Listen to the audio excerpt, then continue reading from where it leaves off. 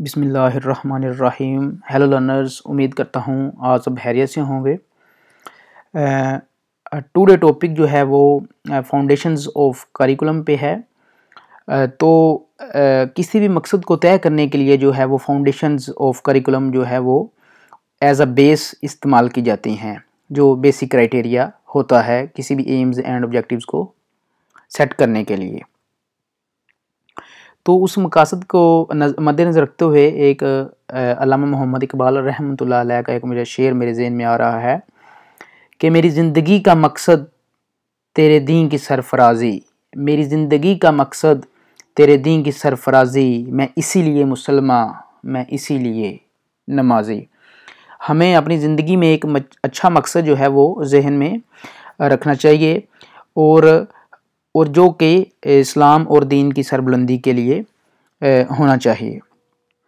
तो मकासद को तय करने के लिए या एम्स एंड ऑब्जेक्टिव जो हमने सेट करने हैं तो फ़र्स्ट ऑफ़ ऑल बेसिक जो है वो फाउंडेशंस को ऑफ़ करिकुलम को इस्तेमाल किया जाता है, जो कि चार फाउंडेशंस हैं, एक फ़िलोसफिकल सोशोलॉजिकल और साइकोलॉजिकल और फोर्थ वन है इकोनॉमिकल मकासद को तय करने के लिए जो एम्स एंड ऑब्जेक्टिव जो हम सेट करते हैं उसमें फ़र्स्ट ऑफ़ ऑल पे फिसोलोफिकल फ़िलोसोफिकल जो है आइडियोलॉजी आती है, जिसमें जो है उसको आइडियोलॉजिकल फ़िलोसफी भी हम कह सकते हैं जो कि जिसमें नज़रिया इस्लाम या रिलीजियस जो होता है, उसको उसका पॉइंट ऑफ़ व्यू और दूसरा जो है वो स्टेट का पॉइंट ऑफ़ व्यू जो है उसको नज़र असरअंदाज जो है, वो होता है। इन दोनों का जो है, आपस में कॉन्ट्राडिक्ट जो है, वो नहीं होना चाहिए। जो भी नज़रियात जो हम तय कर रहे हैं, इन दोनों को स्टेट जो है, उसका और जो रिलीजियस पॉइंट ऑफ़ व्यू है, उन दोनों का जो है, उसको मद्देनज़र रखते हुए जो है, वो निसाब साजी की जाती है। इसको जो है, वो फ़िलोसोफ़िकल फाउंडेशन कहा जाता है। फर्दर जो है वो सोशोलॉजिकल फाउंडेशन है, जिसमें पार्टिकुलरली जो हमें सोसाइटी की क्या ज़रूरत है सोसाइटी में लोग किस तरह रहते हैं, उनका जो क्रिएशन का तरीका है वो क्या है, उनके कल्चर्स किस तरह हैं सोसाइटी में जो सिविलाइजेशन है वो किस तरह की है, उनके जो रस्म व रवाज हैं वो किस तरह हैं। इन चीज़ों को देखते हुए हमने जो निसाब जो हमने तय करना है बच्चों के लिए इसमें जो सोसाइटी का रोल भी उसमें अहम जो है, वो समझा जाता है। उसको नज़रअंदाज नहीं कर सकते। इसको मद्देनज़र रखते हुए ही हम अपना नसाब है जो उसको तैयार करेंगे। जो कि बच्चे को अच्छे तरीके से जो सिलेबस होगा या जो निसाब तय किया जाएगा, अच्छे तरीके से बच्चा उसको समझ सकेगा, क्योंकि सोसाइटी को भी हमने उसको उसमें शामिल किया है। साइकोलॉजिकल जो फाउंडेशन है, वो बहुत ही इम्पोर्टेंट करिकुलम में इसको समझा जाता है। क्योंकि इसमें बच्चों को देखते हैं कि उनकी जो जहनी इस्तात है, वो कैसी है बच्चों की। बच्चों का दिलचस्पी बच्चे किसमें लेते हैं?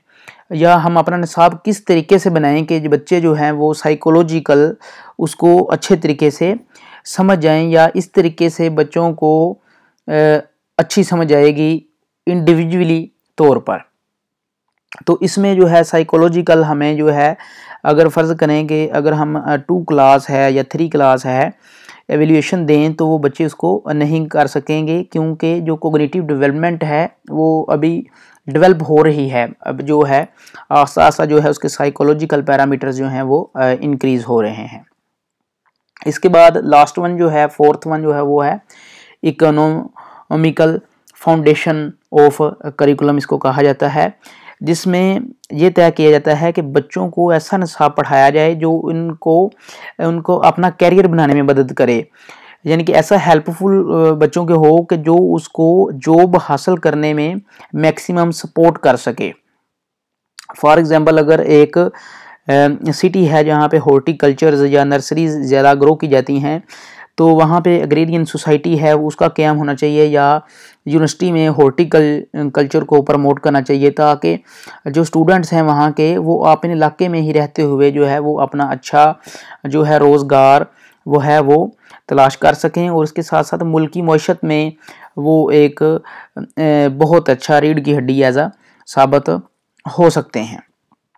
तो ये था सोशोलॉजिकल करिकुलम जो कि किसी भी निसाब को तय करने के लिए जो हम फाउंडेशन बेसिक सेट करते हैं, अपने एम्स एंड ऑब्जेक्टिव्स को हासिल करने के लिए, वो इन चारों पॉइंट को हम हासिल करने के बाद जो है, वो अपना निसाब तय करते हैं, जिससे एक बच्चा जो है, वो अपनी मंजिल मकसूद तक आसानी से पहुँच सकता है।